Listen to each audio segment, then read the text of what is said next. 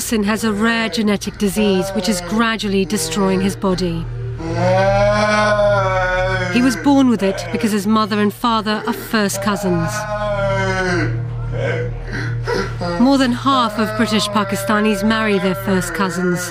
Tonight on Dispatches, the tragic consequences of a cultural practice that is devastating children's lives.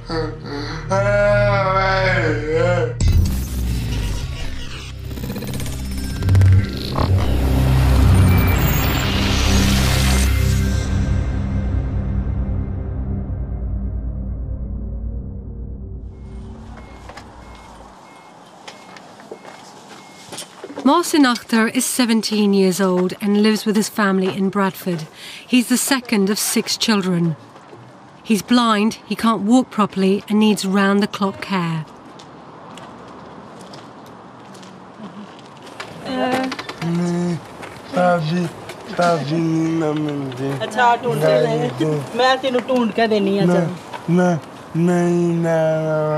अच्छा अभी अबू आते हैं ना हैं। अबू आते हैं ना फिर चलते हैं अच्छा? चला। क्या कह रहा है गाड़ी चलानी है? गाड़ी लेके ही। Mohsin is losing his hearing. His speech is seriously impaired and he understands little of what's happening around him. Auntie auntie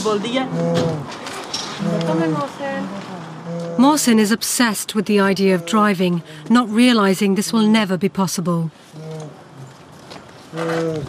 Listen. Mohsin's younger sister Hina is 13. She's the Akhtar's fourth child. Her sister Zainab is 11. Both sisters have inherited the same disease as Mohsin. They can neither see nor hear. All three children have an extremely rare genetic disorder called mucolipidosis type 4. Their bodies cannot get rid of waste products properly, affecting everyday brain function from vision to movement. ये मैंने लेना क्या लेना है तो ये खानी है ब्रेड खानी है ये खानी है दोनों बिल्कुल बिल्कुल ही ब्लाइंड है इसको थोड़ा सा लाइट ऑन और ऑफ इसको पता चलता है ये तो मेरे ख्याल ऑलमोस्ट हो चुकी है blind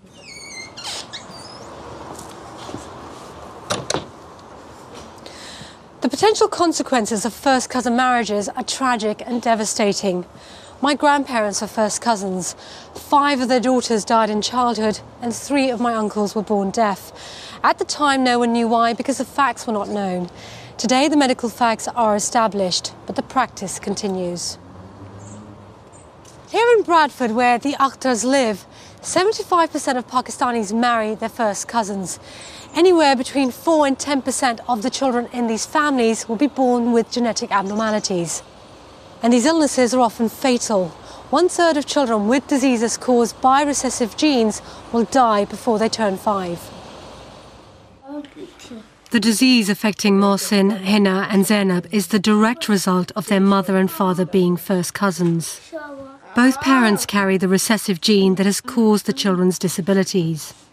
If they had married outside of the family, there would have been only a tiny chance of their children being born with the genetic disorder. But in the case of the Akhtars as first cousins, the odds narrowed dramatically to a one in four chance that any child they had would be born with the illness. In the event, three of their six children were born with the disease. Fatima is the youngest and healthy. She's seven years old and has had to watch her siblings deteriorate over the years. So, what's it like living, having two sisters? Is it fun? what's the best bit? I play together. Where? What's the most difficult bit? Difficult when they cry, crying, uh, and we can't stop them crying. تو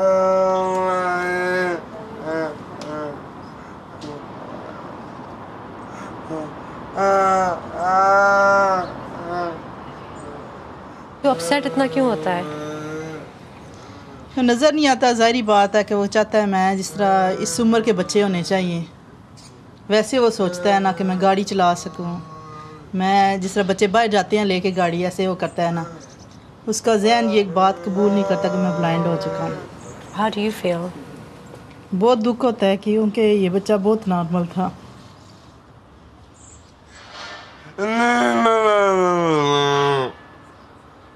اگر یہ بچے normal ہوتے تو اپنے اپنے گھر کے ہو جاتے وقت کے ساتھ ساتھ، اپنا آپ سنبھال لیتے۔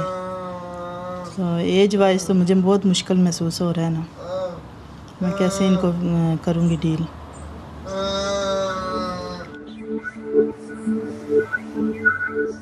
Over in Birmingham, home to one of the largest Pakistani communities in Britain, 50% marry their first cousins. The children born into these families are 10 times more likely to be born with recessive genetic disorders. And one in 10 of those will die in infancy or suffer a chronic disability. Doctors in Birmingham have grave concerns about cousin marriages, or as they call it, consanguinity. Dr. David Milford is a renal specialist at the Birmingham Children's Hospital. He says the problem is on the rise. What kind of impact of first cousin marriages have you seen in this hospital? in my own specialty, which is children's kidneys, we've seen um, from national data comparing figures from 2004 to recent figures 2008 2009 we've seen that the proportion uh, of consanguineous relationships with genetic disease we've seen that increase from about 17% to 21% so certainly in our own very small specialty area we have seen a change most of the consanguineous marriages are within uh, Muslim, Pakistani, and Bangladeshi families. So for us, it's wherever populations of um, th- those origins, where they are concentrated, that's where we see uh, the, the highest amount of uh, genetic disease. What kind of pressure do these cases put on the resources that you have? We see some children with very serious disease. We've had children who've presented soon after birth with kidney failure requiring artificial kidney treatment, uh, and they then go on to require kidney and liver transplantation to correct their genetic defect. Um, and then we see other children who are more mildly affected, who have some degree of kidney impairment, but not enough to require artificial kidney treatment or transplantation. So it's quite variable. A major report published in 2008 shows that one third of all children suffering from rare genetic diseases are British Pakistani. Yet they only make up 1.5% of the total population.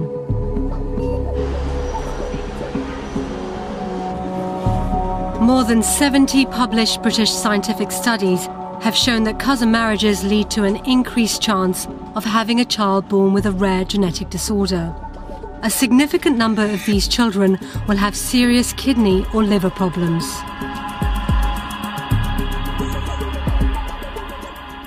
As you can see, I've got a lot, lot of medicine there.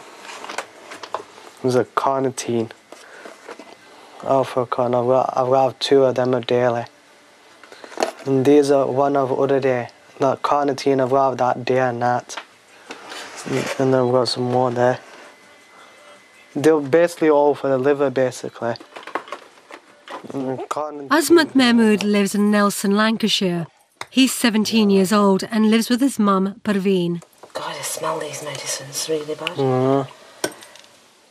He has to take a powerful cocktail of medications to help him get through his day, sometimes as many as 11 tablets at a time.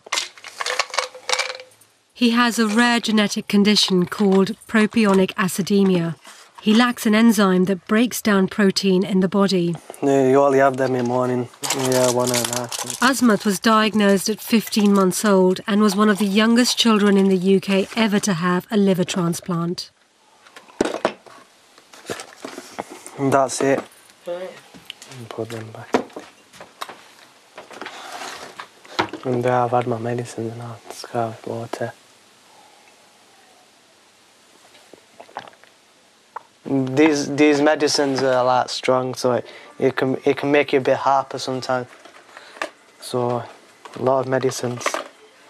I've got to keep. If I don't have them, then I can feel a bit weird sometimes, not not myself. So it's it's important that I have them. When Asmat was first diagnosed, his doctors told Perveen that his rare liver condition was hereditary. By marrying her first cousin, she and her husband increased the chances of passing the disease on to their children. So after his transplant. Oh, bless him. It was when he was born. Just he wasn't drinking his milk and things and he was lethargic. Sort of did some tests, you know, um, that's when they found out when there was something not right. Uh, well, at first they said there was no cure. And then, because um, I kept pushing it, whenever time I went to the clinic, I said there must be something you can do. And they said, well, we can try a liver transplant, but there's no, it's not 100% guarantee it's going to work. Asmat's rare condition is progressive and his body is slowly deteriorating. This one, like this one's more weaker. It's just a lot of wearing out. I, I don't know what do it, but it started getting worse. Like, you know, like you have pains and stuff, and that, as you can see, that's a bit sm smaller. This uh, arm's a bit smaller, but whereas this feels more stronger. Like sleeping and stuff, when I, was, sleep on the side, it could hurt sometimes. Like my mum has to massage you all the time.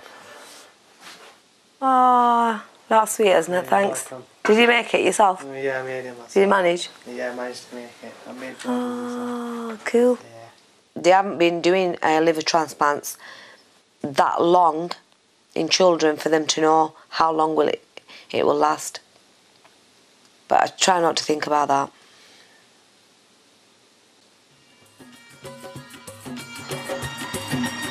Cousin marriages have been a long established cultural tradition amongst many British Pakistani families.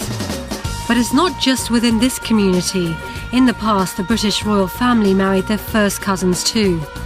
Today, though, it is mostly Pakistani, Bangladeshi, and some Middle Eastern and East African families that continue the custom.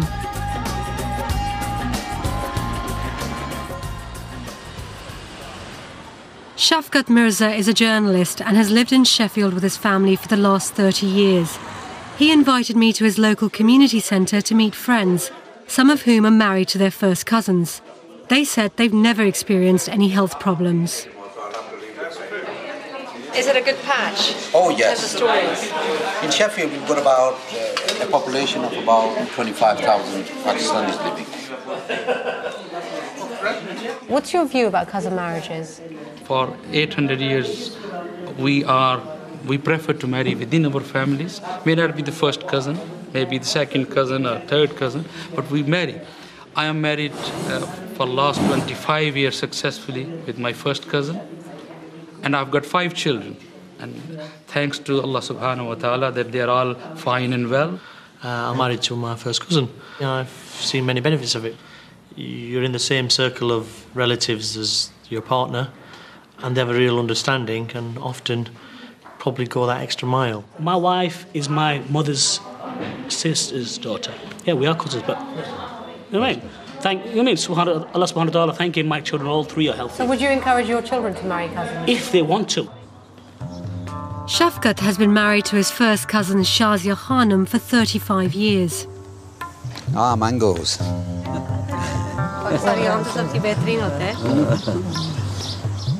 His mum and dad, Farnam Begum and Ali Bahadur, are also first cousins. Shafkat's eldest son Imran has continued the family tradition and just married his first cousin in Pakistan. That's three generations of first cousin marriage. तो फायदा क्या पड़ता है cousin से शादी करें तो फ़ायदा ये है कि हमें एक दूसरे की आपस में हमदर्दी पैदा होती है कोई तकलीफ़ होती है तो एक दूसरे की तकलीफ को हम تقسیم کرتے بانٹتے ہیں۔ میری بہو یہ میری تکلیف کو تکلیف کو محسوس کرتی ہے اور یہ احساس کر کے یہ فوراً پہنچتی ہے کہ ان کی بدل کو پہنچو اگر اس کو کوئی تکلیف ہوتی ہے تو میں فوراً پہنچتا ہوں۔ اسی طریقے اس ان کو جو آپس میں ہمدردی ہوگی اگر ہم باہر سے شادی کریں گے تو وہ ہمیں ہمدردی نہیں مل سکے گی۔ اس اس a very happy atmosphere. Um, for weekends all the families get together at this house and we call dad's house like White House. You know, everybody is called into this parliament and they would have food together, they would have chats together. आप भी ये बात मानती हैं जी हाँ जो इसके बहन भाई हो ये पहले मुझसे प्यार करते हैं तो इसी की वजह से ज़्यादा करते हैं हम उधर जाते हैं तो हमारा जो घर है उधर मुझे जाने ही नहीं देते वो बोलते हैं इधर ही रहें हमारे पास हम आपका देखभाल करेंगे क्या उसमें ज्यादा ज़्यादा होता है मोहब्बत प्यार होता है ना अगर कुछ बोल भी जाए ना जो बड़े हैं तो इतना महसूस नहीं होता क्योंकि हम रिश्तेदारी ऐसी होती है बहन भाई होते हैं उनके अगर औलाद एक दूसरे के घर शादी हो जाती है We haven't seen any negativity in it, so therefore we are all for it. Although between 4 and 10% of the children of first cousins are at a high risk of recessive disorders, people who support cousin marriages say this means that 90 to 96% of the time the children will be healthy. People outside the Asian community or the Pakistani community would say, well, why would you want to marry a cousin? You know, there are health risks, and also, you know, look outside. They won't quite get it. You know, you know they, they see it a completely different way. My answer to that would be, why wouldn't you want to marry Yeah, your cousin? cousin, So, yeah. not why would you, but why wouldn't you? I mean, all right, there's the points of the health risk, but then there's the advantages where you know the families. My children had no biological disadvantage because we are first cousins. And So by the way, our parents were first cousins I know, as she was telling me earlier. So both your parents are first cousins. And- but and you're- we are first and you're cousins. first cousins. So why wouldn't you ask your children or why aren't you encouraging I would uh, no no no. I would not stop them. At least five research papers show cousin marriages are on the rise in the UK and have been increasing for the last three decades. On the streets, though, we found quite a number of British Pakistanis who thought the practice was wrong and suggested that young people only went along with it because of family pressure.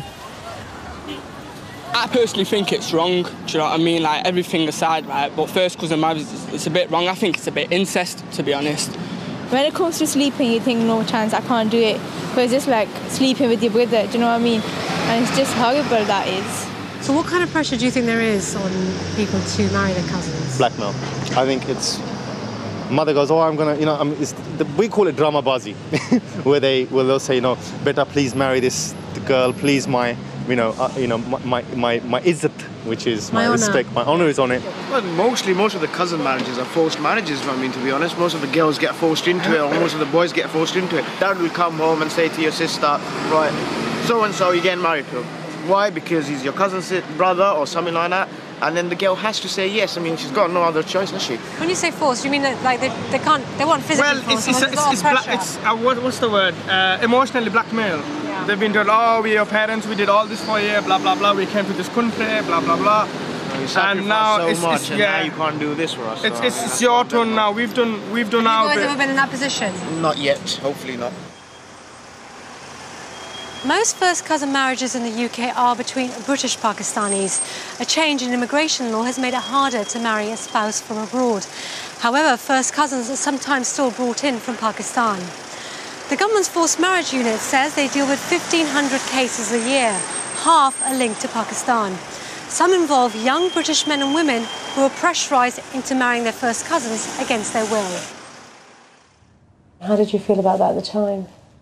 Really angry because I wasn't asked. It wasn't even considered. I was very, very angry. I met Zara, who is British but married her first cousin from Pakistan. She asked us to hide her identity. We met uh, when I went to Pakistan with my family, and then a couple of weeks later, I was told that I was uh, going to be engaged to him. I refused to marry him. It was about two weeks before we were due to get married. Were you forced into it?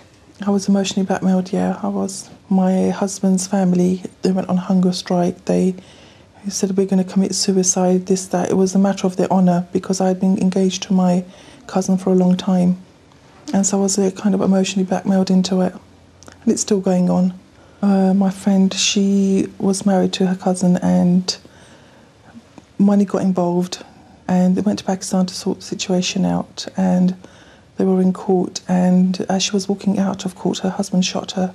She was pregnant at the time. People out there, it's just frightening. Were you ever worried about anything like that happening? Yes, yeah. I am and in the future of that happening. First cousin marriages can end in tragedy. Just recently, a British couple was shot dead in Pakistan. Here in the UK, the bigger problem is the medical issue. In part two, we discover people are denying the health risks of cousin marriages.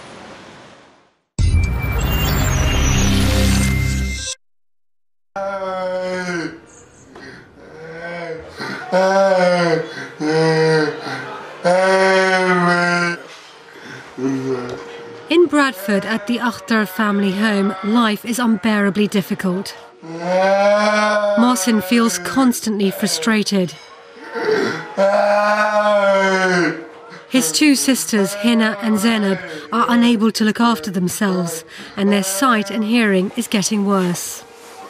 Their parents find it hard to come to terms with the idea that as first cousins, they pass down a gene that caused their children's terrible disabilities. What have the doctors actually told you about this? You told you that it's it could be anything to do with the fact that you two are first cousins? Yes, they told this is a genetic disease, but I don't think this is right. But they told us. My other my other brother, he got married with her sisters. He got five children, all of them perfectly right. There's no disability with them. میں تو کہتی ہوں اگر ہم شروع سے ادھر ہوتے تو میرے بچے اس طرح ہونے نہیں تھے بچے نارمل تھے شروع سے اور ان کی جو روٹین تھی بچوں کی وہ ٹھیک نہیں تھی کہ ہر وقت بیمار بیمار بیمار ڈاکٹروں کے پاس جانا چکر آ وقت ڈاکٹروں کی دوائیاں دے دے کے تو بچے اس طرح ہو گئے ہیں کیونکہ بچے بالکل نارمل تھے میں تو ابھی تک میں مجھے یقین نہیں آتا کہ یہ میرے بچے اس طرح ہو چکے ہیں क्या ब्लेम करना बस ये हमारी किस्मत में था आजमाइश Some families call it fate, however, doctors are in no doubt about the cause. While an average children's hospital will see 20 to 30 different recessive genetic disorders over a decade, in Bradford, one children's hospital alone has seen 165. Consequently, Bradford NHS Hospitals Trust has initiated one of the world's most comprehensive studies, looking at the health of 14,000 babies over the next 20 years at the same time establishing the full medical consequences of cousin marriage on children's well-being. Professor Marcus Pembrey is a former government advisor on genetic health and a clinical geneticist. For any particular gene, you get two copies, one from your mother and one from your father. If you have a single defective uh, gene, or mutation as we call it, um, there's no outward manifestation. And this can just be passed from parents to children to children to grandchildren with no effect. It's only when both parents happen to be carriers, and then there is a 25% chance that a child would get the double dose. They have no normal gene and they suffer from the disease. First cousins share grandparents. And if you imagine that uh, um, a rare recessive uh, mutation, um, single copy in a, one of the grandparents, uh, there is then not unusual for it to be passed on to both grandparents' children and, and then on to their offspring, who are the cousin. On average, um, if you're a carrier, then there's a 1 8th chance, 12.5% chance, that your first cousin would also be carrying that gene. Asmat helps out in his mum's school and baby wear shop. When he's not at college, he works on the shop floor, deals with customers, and mans the till. I'm very protective over Asmat. He's like more like um, I would say a 14 year old than an 18 year old. Mentally, you know. It comes with me, um, you know, when he's on holiday, he comes with, with me to work, yeah. So I can keep an eye on him and things. I got tired days up every time because customers are always on the side and then they just put them back so you must sort them out. There's somewhere to do anyway because I get bored because it's something instead of just standing on till all the time. Despite what Asmat's mum has been told about the cause of his illness, she struggles to accept it. I don't think there's anything wrong in uh, first cousin marriages because it's our culture and it's the norm, really. But having said that, I want to. It did put me off having more to my ex-husband now, but you know, because I couldn't go through that again, having another child with the same problem. The thing is, though, it's not guaranteed that it's going to happen, though. It's like high risk, it's one in four, but it could be like if it's one in four, it's like three could be okay. Yeah? Just think it was one of those things. Because um, my daughter, she's fine. Yeah, what's that? What have they bought? Asmat's older sister Syra also lives at home and helps out at the shop when she can. When I was young, I couldn't understand, well, why was I born perfectly fine and stuff, and my mother had a condition and things like that. A lot of families think it's just luck. Yeah, the luck, you know, the way it's meant to be, or God's will, as they say. That's how it is perceived, I think.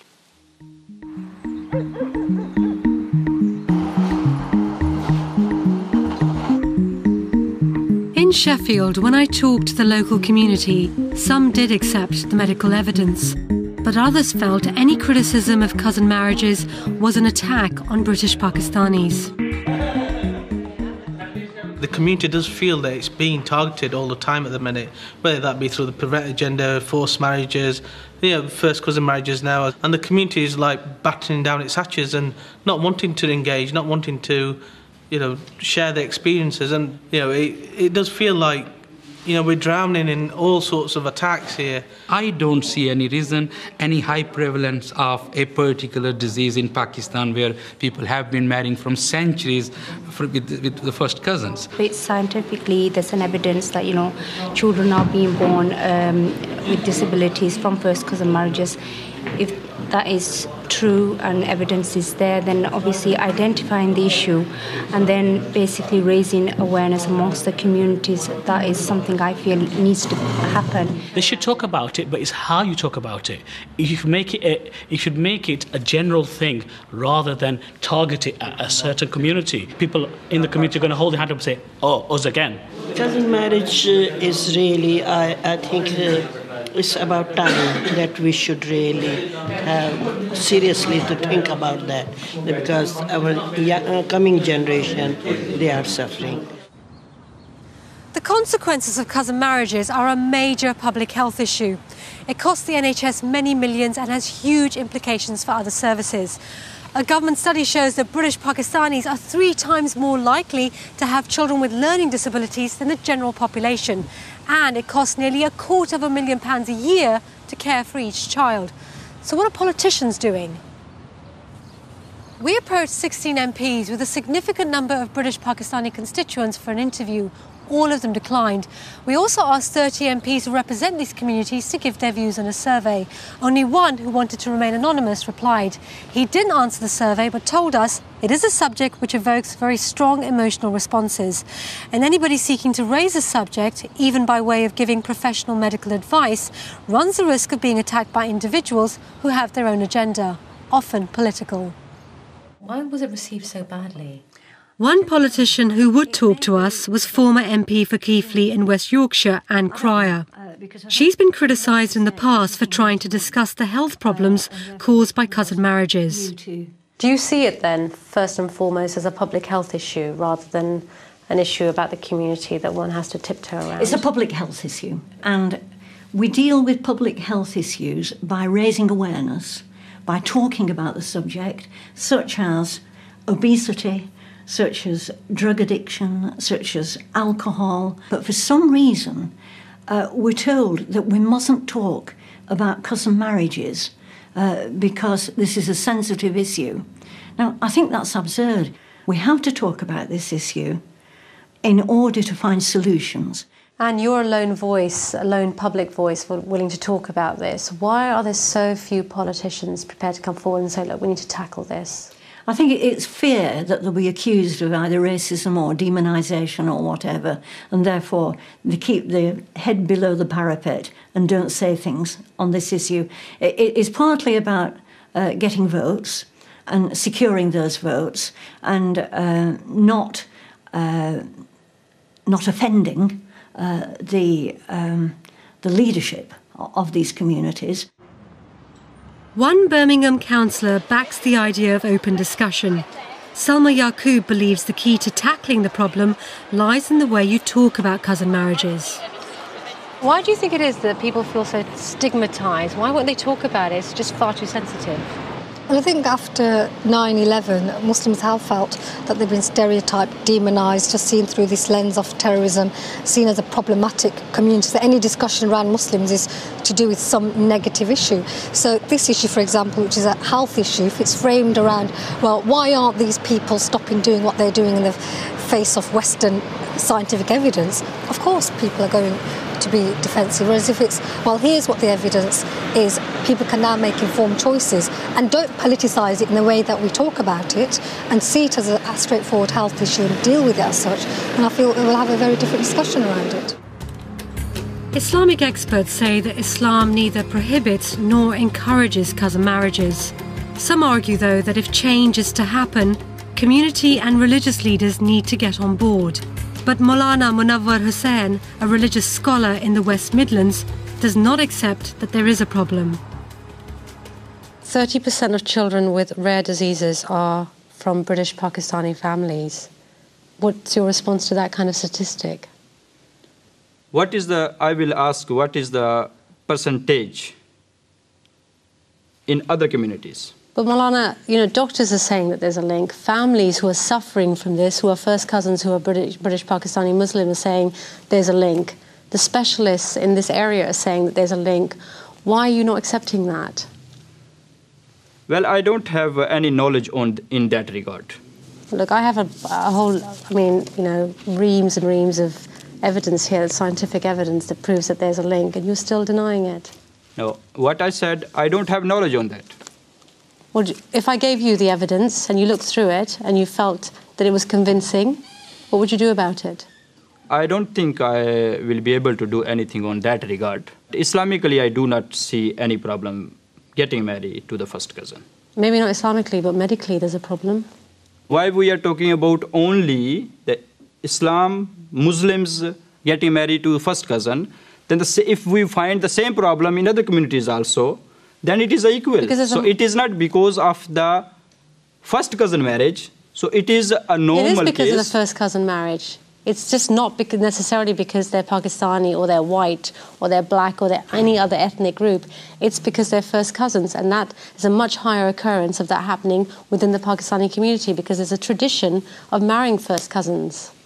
Okay, well, uh, as I said early on, I don't have any research on that uh, topic, so I won't be able to say anything on that. Well, if I give you this research and you look through it, So, well, I, I wouldn't mind uh, looking through it. and if you were convinced by it, what would you do about it? Uh, I will decide after when I am con- convinced. We sent him the medical papers and haven't heard back yet.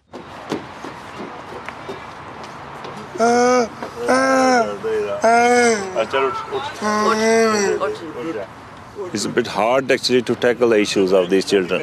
I don't know what is their future, how they will live even if we are not here. In part three, we ask if children like the Akhtars are paying the price of political correctness because health workers and politicians are afraid of being labelled racist.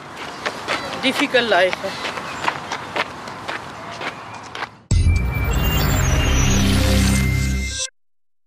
With scientific research showing that first cousins who marry are doubling their chances of having children with rare diseases, why is there so little awareness of this in the wider British population? Sonia and Wayne Gibbs invited me to their family home. They've been together for 16 years. Wayne is Sonia's dad's cousin, making them first cousins once removed, something that never struck them as a problem. Their child Nicole died of juvenile osteopetrosis, a genetic disease that causes the bones to thicken and crush the body's organs. They were told it was because they both carried recessive genes. So, as a parent, to sort of go from having what you thought was a perfectly healthy, normal baby, how did that feel? upsetting, horrible. Feel absolutely helpless because you know there's just not a thing you can do. Did you decide to have a third child? Was that planned? Well, we went through obviously genetic counselling, what they call it, because obviously we wanted to know, you know, can we have any more children? For that test for you was absolutely essential. It was, yes. Yeah, it was vital. There was no way we was going to even, you know, have another child if there was no test out there that could help. And obviously, I just would have stuck at Nathan, and that would have been it. So, And now you've got two very and now healthy I've got kids. two very healthy boys. Do you think that people who are cousins and are thinking about getting married and at some point having children, do you think they should test themselves at that stage? Definitely, absolutely. It will save them so much heartache in the long run. At least then they know that they are going to have a healthy child. For couples like Wayne and Sonia, going through genetic counselling helps establish risks and offers possible solutions. The option of a termination or IVF to implant a healthy embryo. But only 40% of genes causing recessive disorders can be tested for, meaning that genetic counselling has its limits. And yet, there is no national public health campaign about cousin marriages. The risks are not taught in schools, and there is no government leafleting campaign in hospitals or doctors' surgeries as there would be about other diseases affecting children. The last big campaign on cousin marriages was 13 years ago in Birmingham, when the health risks were brought to public attention.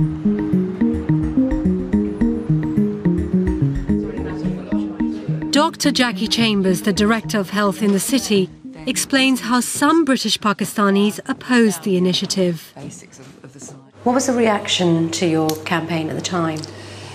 Well, I think the reaction was quite mixed. Um, we did get some support from some religious leaders and from some communities.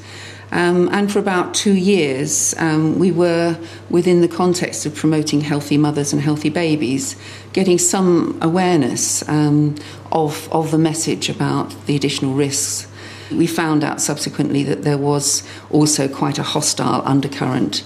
Um, people were tearing up our leaflets and they were also putting counter messages um, across in terms of what was seen as an attack on, on those communities. With the campaign provoking such a negative response, it wasn't repeated.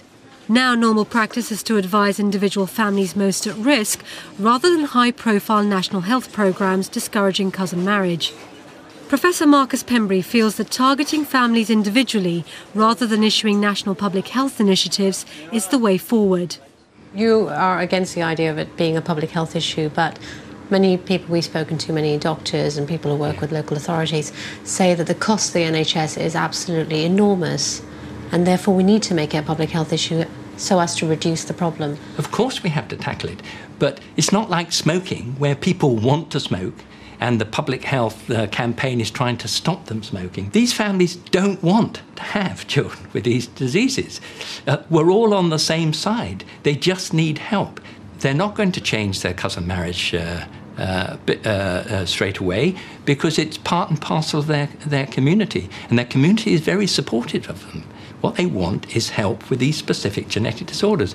And with the new technology, where if there's political will, we're not, we're not wanting the politicians to say things. What we want to do is to understand that we need funding for the services that uh, uh, will provide uh, genetic counselling. In Birmingham, they're introducing a new system. A confidential register of families most at risk of recessive disorders is being drawn up. They will be offered counselling and genetic testing, which is hoped will reduce the number of children born with disabilities by half over the next decade. If it works, the plan is for the government to roll this out to cities such as Bradford and London. However, British Pakistani doctors at one GP practice in Birmingham have set themselves apart from other health professionals by openly discouraging cousin marriage. Their surgery is one of the few in the country to take this radical approach. At the same time, they've introduced genetic screening and testing for common blood disorders, such as thalassemia, for all of their patients. Really, I just wanted to, to speak to you again and, and talk to you about um, thalassemia and the transmission of. Today, Dr. Rizwan Aladina, himself a British Pakistani, is genetically counselling Hulsum Harji, who is originally from East Africa and married to her first cousin. Hulsum is a thalassemia carrier. She has one healthy baby but wants more children. So you would either pass on the normal one or the one with thalassemia, and same with your husband as well. So, in terms of combinations, this is the dangerous combination when the child has both thalassemia gene and that child would be a thalassemia major child, but that is one in four chance. Yeah. Okay. The other possibilities are the children being carriers, which is Helping patients make informed choices is a priority for Dr. Ali Dina. He says he's done this with the help of local religious leaders. It has taken a good time for about almost 20 years to change attitudes, getting the support of the clergy. That is the key. I think at the end of the day, if you do not have the support of the religious leadership within your community, particularly in a Muslim community, then your message is not going to get through. This is not an attack on Islam. It is not an attack on Islamic principles or its fundamentals. It is merely um, concerns from fellow Muslims regarding um, health risks. It is fine to marry your cousin as long as you know the risks that you're taking and as long as you get yourself tested and you're not in an affected partnership. But then, if you look at the amount of genetic illnesses that there are actually there, you can't test for everything. So the sensible thing would be to say, if you can avoid these um, these partnerships, then it's actually better.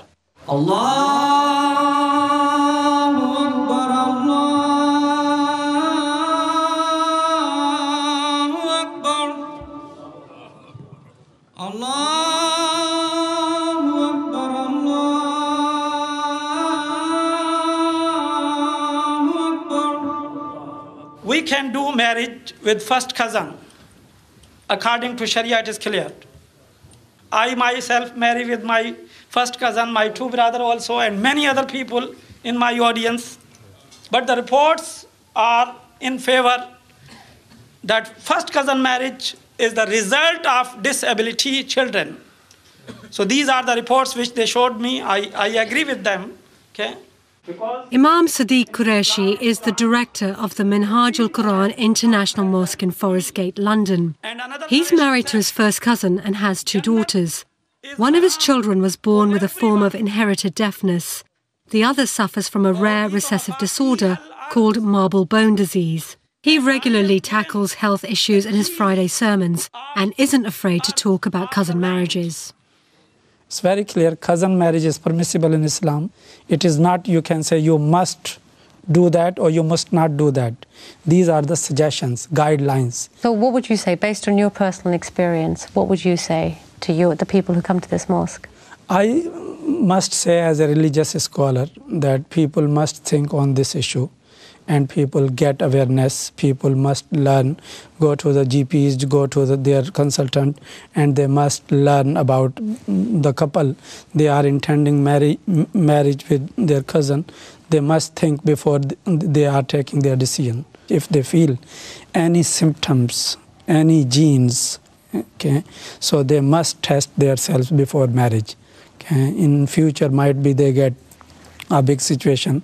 Now, in this country, there are many facilities, so they must go for the test, and then that will be uh, that will be better for their future. According to Islamic viewpoint, this is the big jihad to bring the healthful society. It is the big jihad of this time. Asmat and Mum are at the hospital for his latest checkup. Come on, now, let's have a look now. That's not it. Right, 156. So he's about five two. He is five, about five foot two. The doctors need to see him once every six months to monitor his health. This time, the news isn't good. Come on, nice to see you again, Asmat. You okay? Have a seat. Like when I'm playing with my friends, uh, I get tired easily. My legs get tired easily. Your legs get tired easily. Both legs? Yeah. I've been having pains in my arms. Yeah, Being so car- still your it's arm been, is it's been carrying on. It's not. It's gone like more weak. I feel. Then it closes and it's hard to open sometimes. So it closes by itself, does it? Uh, Yeah, it goes like pretty tight, and then I'll, I'll go like down, like stretch out. Okay. I couldn't see any circulation before, so. There's no circulation at all, is there? Put your hands on your hips for me, can you? It starts hurting when I do that. Yeah. I, I'm sorry about that. Not Just put that- your, put, put your hands on your hips. My granddad tells me to have mil- uh, plenty of milk. Does that help? Yeah. Certainly does. Just put your head straight like this. Can it, can it get better or does it take time? What they are. Yeah, yeah. I think it's hard to know. We, we we haven't managed to completely explain why you've had this trouble. We wouldn't claim in any way to have a complete Yeah. cure or treatment for propionic acidemia by now. Right, so Uh, they uh, still haven't found a cure for it. No, because it's a genetic disease that in a way affects every cell in the body. Oh, sorry. Okay. You all right? Yeah. Come see what I'm doing. During my time making this film, I've seen firsthand the benefits of cousin marriages, but also its tragic consequences. One medical study estimates that nearly 700 British Pakistani children are born with serious disabilities every year. If this was any other health risk in the UK, there'd be a huge national campaign to raise awareness. Until this happens, many more innocent children will be born to lives of unimaginable and preventable suffering. My dream is maybe to uh, get like get a good job and like build something on myself and get married. Like, like have a family on my own as well. It's like if you marry your cousins, yeah, like it can always work out because like if you're marrying someone, they, like you could have a disease because you don't you don't know what that other cousin's got. So it's, it's important say if they have kids, yeah, you, you don't you don't know if that like say if that cousin's like got a disease or something that how that kid could be born because some can be born different, can't they? So, that, so it's important that you think who you're going to marry. That marrying into family is not always a good idea.